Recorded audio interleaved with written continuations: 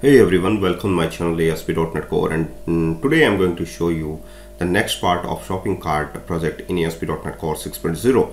So uh, that's uh, is a uh, UI uh, for the shopping cart that is already done in the last video tutorial. So when we click on the details page and uh, you will see that the ID property of uh, the details and uh, just uh, in this video I'm going to add the details of mm, inside the home controller of your customer accounts. So just add it here just after the index page where your all the products are clear. And in you know that in the product.js file we have two buttons that is edit and uh, um, edit and delete also. But in the details we have a index page so details uh, you know that just I want to show the card details also. And details uh, just show the product ID as well as the user ID and just I want to uh, add uh, in the cart so design a cart model uh, just first of all create a cart view model. And a letter uh, in the letter session I will add that cart in the model session. Okay. So in the cart you notice that product uh, that product is getting from the database table by using the unit of work. So unit of work dot product dot get x dot id product id and respective their categories is also uh, used. So include properties is category count is the by default one and the product id is the uh, navigation key or the route id you can say that is the product id so add a new card uh, view model under uh, data access layer where your view model exists so just create a new class cart and in which class uh, you can add these properties like that. Uh, id product id product application user id and application user. And also you can add the count property. Because all these products are countable uh, okay? So uh, that property is must to add into the cart okay? So count one two three how many products you want to take it in into the cart okay so product id product user id and application user id is also there but application user is not found. So add a new class in the model session that is the application user. And remember that uh, i already discussed that is cart in the later video i will add that cart that is um, that is added in the view model. In the uh, later session i will add that cart in the model also. Okay so just create a new class that is application user. Actually application user is a part of identity. So application user class must have to inherit from the identity uh, identity user class.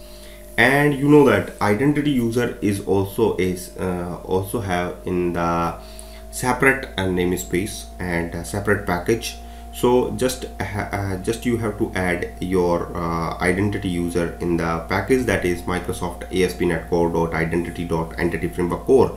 So uh, first of all add a new class that is application user class and application user class is inherited from the identity user. So just copy that code and paste it here application user and and application user is inherited from the identity user so identity user is actually uh, first of all resolve that required property that is annotations for the uh, component dot annotations property.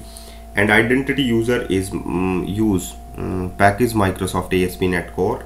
That is not uh, available at here. So just uh, download it from your NuGet package manager. So um, oops package manager NuGet package manager. And just click on the browse tab and just add a microsoft dot asp.NET core dot identity dot entity framework core. Okay so after that you have to download your uh, ASP.NET Core projects you can resolve your identity user namespace and in this video I'm going to also show you how to add the card detail into the cards but uh, in the later video I will uh, discuss uh, about the post action method of the card. Okay? So uh, just uh, design the card details uh, in this video. So that is the part of that is the part of this video that is needed for the application user because just I want to say that only a user can see our card details. So application user is needed. So ident uh, so application user is inherited from the identity because identity in this project uh, I was I use identity uh, if you check in the previous videos. So that's that's it. So uh, just go uh, for the application user and just resolve that uh, namespace error and go for it. Okay. Okay that's problem is resolved. And you can see in the card where your application user is exist and just resolve this problem. First of all namespace in the details action method of the get action detail method. And you will see that's that's nice. And in the cart your application user id is all already uh, resolved. That's fine. And uh, i think it is uh, very cool. And uh, and in this okay so just go for the uh, next section that is uh, add a new view inside your detail page so just right click on the details action method and add and add views. And in the card details uh, you know that um, cart is uh, clear where in the cart model we have a product um, count and product id is there and return to view for the cart so uh, just right click on the detail action method and add a new view. And we have already a designed view for the car details. So just um, remember that you can design your car details because uh, that is part that is a part of uh, the bootstrap and that is a part of design you can say that is a part of UI so you can design yourself uh, if you want to design uh, your way. So you can uh, you can do it. Okay so I have already created in the card details. So detail page is also uh, created by me in the bootstrap. If you want to copy that just you can see that code. So add uh, by um, add a new view by using scaffolding. So just right click on the detail section method and add view. Okay? So that's fine. And after that just copy that code that is already designed code by me that is here. And just add a new model section just top of the row. That is add the red model and uh, model the name uh, shopping cart dot uh, data access layer dot view models dot cart. You know that in the later session uh, I already disc I already uh, uh, I already cleared that. Uh, that cart is added into into the model. That time is actually added in the view model. So in the in the CSS page we have some just increase the size of the Visual Studio fonts. So here we have a product details. So in the uh, product details the action method is the post and the bootstrap class row in which the first column have a product image URL and the product ID and the uh, product ID detail is the product model.product.name model.product.description also price and the category name.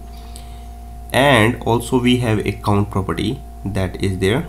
Esp4 for the count class actually count is actually uh, is it's a number where uh, count is related to the quantity you can say so uh, cart have a quantity. Okay so uh, you can check in your amazon uh, and uh, and any other shopping sites where your you can see that the count counts is also clear. Count is uh, related to your product. So count is related to the quantity.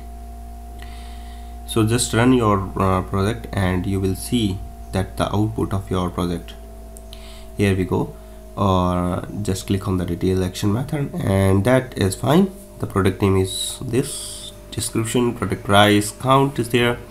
Okay just when we click on the add to cart button that information will be added into the database table and uh, that information will be added into the card so card is a part of model. So just uh, remember that a card is just a drag and drop into the model and change just change the namespace okay so just here we have a card and just drop in into the models. And model we have a namespace that is data access layer. So just remove that and add it in the models. Okay that's fine. And also change in the home controller and the cshtml file. Okay so just remove that from here.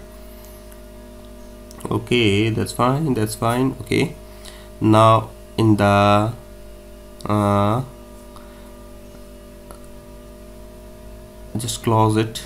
card.cs and in the details.cshtml file you can see in the top of row where your view model.cart is exist. So just remove that section and add shopping cart models dot cart.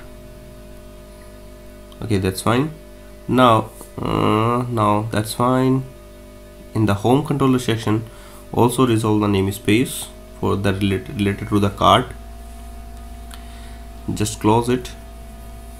And in the home controller uh, just you got the error. So just uh, click on it. Right uh, control dot to resolve the namespace. Oops. Using cart shopping cart model dot cart is also there and shopping cart dot data access dot uh, also there. So just uh, remove.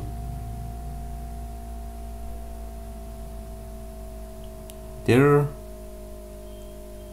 And view model is also removed from here. And you will see that the cart uh, detail is clear.